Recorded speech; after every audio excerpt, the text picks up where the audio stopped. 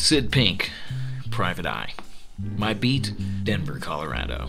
It's the capital of the Rocky Mountain Empire.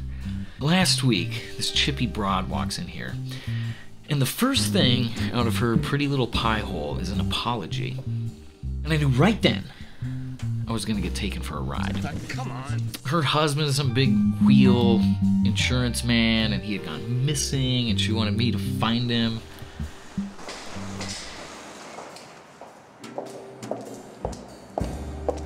Hey, asshole. Hey,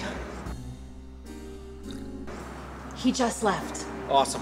No, not awesome. You missed it. How was I supposed to know that a giant unicorn was gonna kick the door down and put my lights out? I mean, in this line of work, look, man, I've seen everything. Hey, champ, feeling strong tonight, huh? Fuck you. And I've been mixed up in some pretty weird scenes. But I always rise like the phoenix.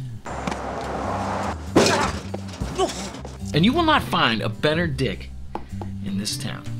You are the worst private detective ever.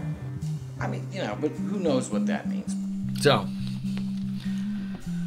that's my story. What The fuck do you want from me?